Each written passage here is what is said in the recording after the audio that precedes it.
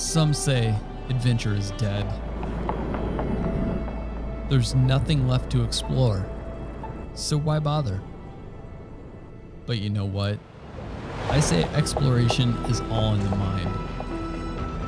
Just because someone else has been there before doesn't mean you can't explore it for yourself. You can find wonder around every corner. If you want to find it. It's all in how you view it. Look at things in a different light. You're guaranteed to find something new. Look at it from a different perspective. You're sure to see something you didn't before.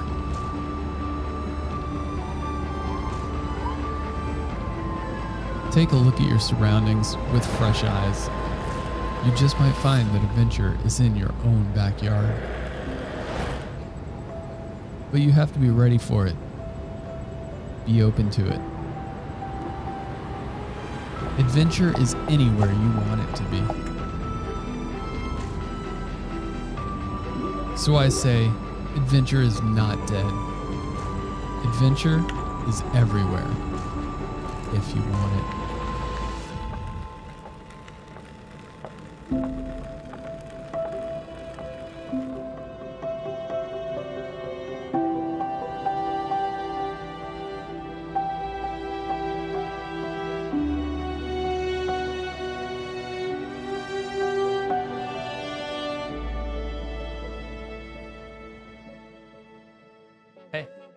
Guys like that intro film? There's two special things about that intro film. One, one, that was made for the Peter McKinnon 72 hour challenge. I really enjoyed doing it. It's an idea I had for a while. It was nice to have the motivation to get out and do that one. Just a little kick in the butt, just a little kick in the butt to get out and do it. So really pleased I finally got that done. I was super happy with it. If you guys like it, do me a huge favor. Hit that thumbs up button down there if you really like that short film. Hit that subscribe button if you want to see more of those short films. And number two, the second special thing about that film, that was shot using entirely my absolute favorite lens I have ever used. And that, that lens is the Canon 24-70 f2.8L series lens version 2. It has been one of my absolute all-time favorite camera gear purchases. It is one of the most versatile, best all-around, well-rounded lenses. Not too big, not too small, got a good range to it. f2.8 gives some pretty good low light performance. And it's just, it's a really sharp, good looking lens. I like it. And by good looking, I don't mean good looking like it, the lens itself looks good. The images that I get with that lens, that's what I mean by good looking. I do talk a lot of good things about this lens, but my one not really even complaint about this lens, just kind of one naggy thing, just always like, why doesn't this lens have image stabilizer built into it? I'm using my EOS R to do a lot more video lately, so I'm wondering if I get an image stabilized lens, is that gonna help me with video? So I got on the internet, started looking around, and then I found the Sigma 24 to 70 f2.8 OS, not IS, OS, same thing really. Optical stabilization is what Sigma calls it. Image stabilization is what Canon calls it, but this lens doesn't have it. The Sigma lens does. OS, optical stabilized. Optically stabilized, optical stabilization. I'm not sure the exact term off the top of my head, but it's stabilized. So I wanted to get my hands on this lens and test it out, which I did for a very brief period of time. So I have some test shots I want to share with you guys, photo and video. Before we get too far into this, if you are curious about all the technical specs for both of these, I don't dive too far into that, but I have dropped links down below in the description for both of these lenses, so go ahead and check that out. And if you're curious to download the sample photos and videos that I shot for this, I have a link down below in the description for that as well. You can download the raw photos and the video straight out of camera, so you can do your own comparisons on your own computer screen. It's a big help. Seriously, do it. Down below in the description. So let's dive right in and take a look at these and see if there's much of a difference between the Canon and the Sigma lens. The Sigma is cheaper. That's why I'm really looking into this because it's cheaper and it has image stabilization, optical stabilization. That's what Sigma calls it. Take a look at these photos. So the first shot we have pulled up here is just a wide shot. Nothing terribly interesting, um, but it is a sunset shot. Uh, it's got good dynamic range here, so that's kind of giving us dynamic range between the two lenses. So here's the Sigma lens as the overall, and then here is the Canon lens as the overall. Now these are straight out of camera. I did not do any post-production. I just shot raw, exported it out of Lightroom, so this is straight as shot out of camera, no adjustments. Back to the photos here. So here's the Canon, here's the Sigma. I didn't get the framing quite exactly the same, but it's close enough for our purposes here. So immediately looking at an overall, I noticed the Canon is brighter. Now, before you ask, these were the exact same settings. I have an 800th of a second f2.8, 24 millimeters, and all shot at 100 ISO. So yeah, immediately the Canon does look a little bit brighter. Now let's zoom in to 100% and then pull this building straight into frame. So as I'm looking here, going back and forth, and keep in mind we are at 100%. It's very subtle differences. Now if you look, there's a couple people up here on the patio. They look a little fuzzier in the Sigma lens, so maybe it's not as sharp. Same thing with the light here. So let's go ahead and zoom in to say 300%, and I'm gonna zoom in on this light so we can get a really good look at it. Keep in mind, this is quite dark at the moment. And this was a tripod shot, so very steady, 800th of a second, so there's no camera shake in this. And I feel like the Canon lens is definitely holding detail a little bit better in the shadows, and that may just appear that way because it's a little bit brighter, but it is definitely a sharper lens. And this is getting actually pretty close to the edge. So this is the Sigma lens up towards the top corner, we're seeing a little bit of blurring over here. The Canon lens definitely still sharp. Keep in mind, this is at 2.8. Also, looking at the corner of the building here, we're seeing a little bit of uh, fringing, some green fringing, chromatic aberration going on over there. Seeing it still with the Canon lens, but not, maybe not quite as noticeable because it is a little bit sharper. So I'm seeing it less up here. I still see it up here a little bit, but it's more prominent in the Sigma lens. Now let's take a look at the fence over here. Very, very blown out. And this is the Canon lens. Keep in mind, we're still at 300%.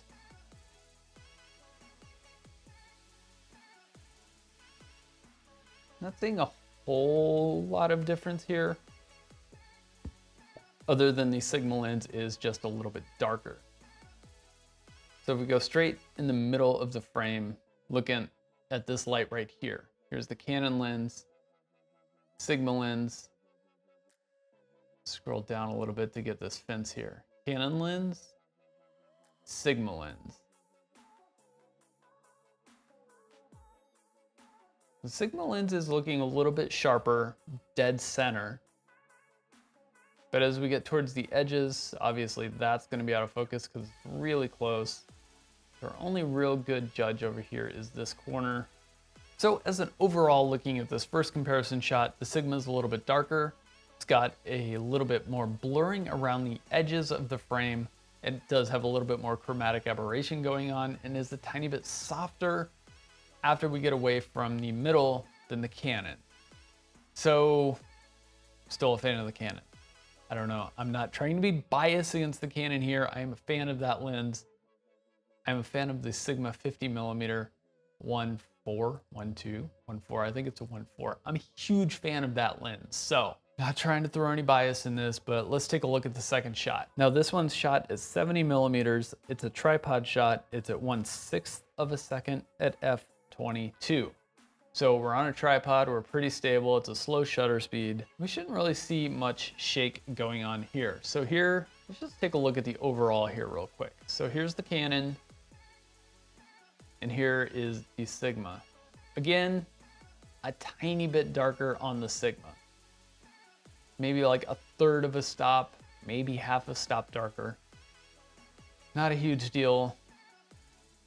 Most cameras should be able to compensate for that if you're shooting raw. So let's go ahead and zoom into 300% here, go back up to this corner and see if we notice any fringing. Now on the Sigma lens, I'm starting to see a little red fringing around the building. Not too noticeable, maybe a little bit more noticeable back here on the really dark parts of the building. Now if we go back over to the Canon, again, we do have a little bit of red fringing over here.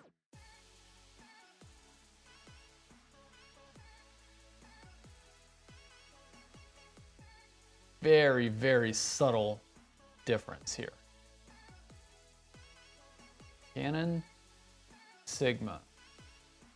Canon, Sigma. The Canon does still seem just ever so slightly sharper.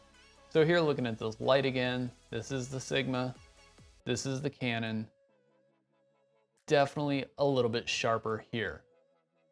As we move into the corners, let's go down here and take a look. Here's the Sigma, here's the Canon.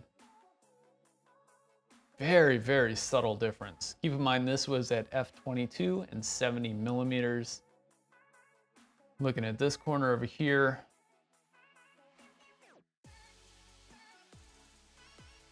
Sigma's still a little bit softer in the corner. So let's go mid frame. That's about the middle of the frame right there. Let's go down so we can see this window kicked out.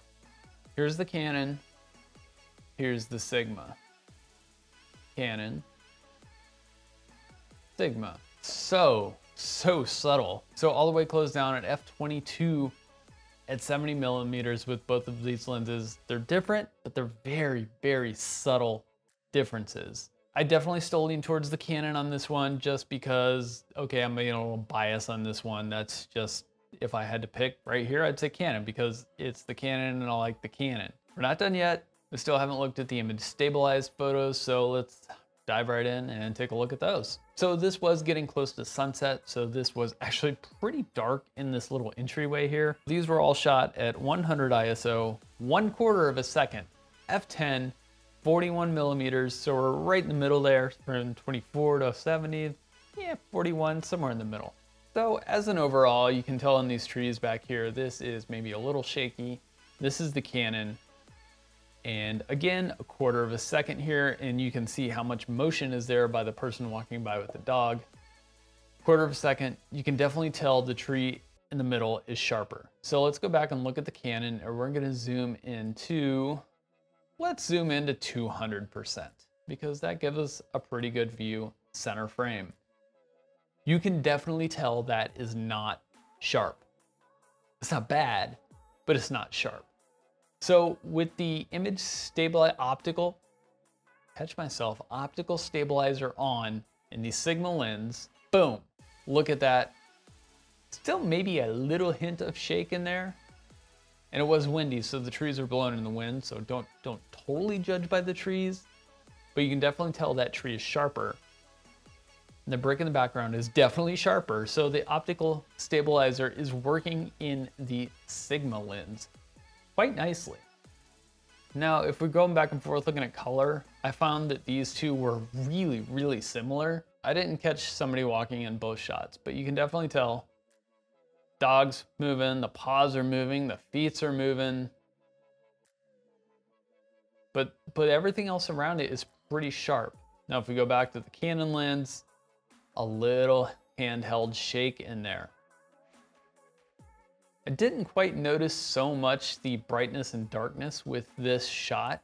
Definitely sharper. So if you're doing low light street photography and you want to know which lens to buy, this is a pretty simple, simple decision right now. Buy the Sigma because it has that image stabilizer. I quarter of a second, literally a quarter of a second.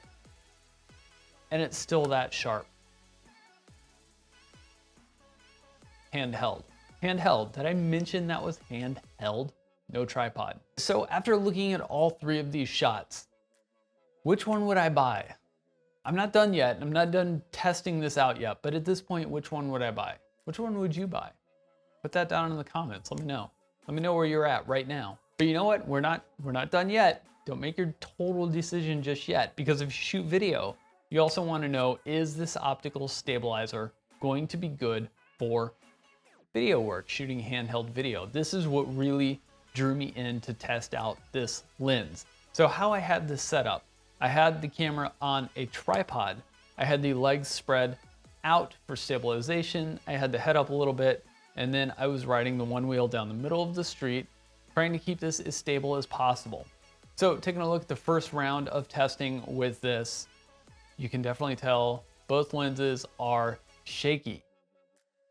Maybe the Sigma is like 5% uh, less shaky. I don't know. Not really. I, I don't know. It's not making that much of a difference. I really did not notice much difference. So DIS, if you notice that in there, it's digital image stabilizer, and that's in the Canon EOS R. So I made sure that was off for my initial test. So after taking a look at these kind of side by side, I'm thinking, okay, they're both really shaky. I'm not really noticing much of a difference. So let's turn the digital image stabilizer on, just run one more test with the Canon lens and see if there's much of a difference there. If it's too shaky, if it's too wobbly, if you're getting that weird warp effect with the digital image stabilizer on, definitely makes a big difference. Helps out a lot. So I wanted to do a second round of tests with the digital image stabilizer on in the body for both of these lenses. Did a second run. Let's take a look and see what happens then. There are some spots in here where you can kind of see maybe the image stabilizer, optical stabilizer in the Sigma is working against the digital image stabilizer and you get some really like quick jerky movement. Not really feasible, but then I did take both of these shots threw a warp stabilizer on them. Didn't do anything special, just threw it on there, applied it, wanted to see what would happen. Let's take a look. Definitely smooths out the motion on here. If you didn't know, you'd say that's a pretty smooth shot. It's got a little tilt left, a little tilt right. Now on the Sigma, again, it kind of like drifts a little bit. I think you can make that work. If you really wanted to put the time into it, if I was really going for the shot for production, I probably would have done it like five or six times to make sure I had a really solid shot. In fact, I probably just would have put it on a gimbal with the image stabilizers and it would have been like buttery smooth right down the middle, but I didn't.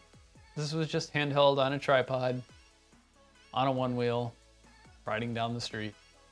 Anyway, where are you guys at with this lens? If you're doing just photo, where are you at? If you're doing just video, where are you at? Put that down in the comments. Let me know. I'm curious. Personally, I'm going to stick with my Canon 24 to 70 because I already own it. It is a more expensive lens, minus the optical stabilizer, the better lens. If you take the optical stabilizer out of the question, the Canon is the better lens. Sigma, I don't know, that's a tough choice. So if you're just doing photo and you're doing low light, street photography, things with like really slow shutter speeds handheld, you might want to get that Sigma lens. And if you're not, maybe get the Canon lens. Sigma's way cheaper though. It's like five or six hundred dollars cheaper. Right now the Canon is 1600 on B&H and the Sigma is just under 1100 on B&H. So big price difference there. Actually like a fairly sizable price difference there. If you're thinking about either two of these lenses, let me know what you're thinking. Let me know which way you're leaning. Put that down in the description. I'm curious. Let me know why. Why are you leaning towards one lens over the other? I had one question with this. Is it good for video? Is the optical stabilizer good for video? I didn't find that it helped that much. And that, that could be a deciding factor for you. So I found that the digital image stabilizer in the Canon EOS R works a lot better than the optical stabilized Sigma lens. I was just curious. That's what I wanted to know. All right, guys. Well, do me a huge favor. If you like this video, hit that thumbs up button down there. If you don't like it and you're still watching it, why? Hit that thumbs down. If you're still watching this and you don't like it. And put that down the, why are you still watching this? Put that down in the comments. If you're still watching this and you don't like it. Why? Go, go watch somebody else's video. I don't care. All right, guys. Well, I tell you what, Hit that thumbs up button if you like this. Hit that subscribe button if you want to see more. And I'll see you guys next time.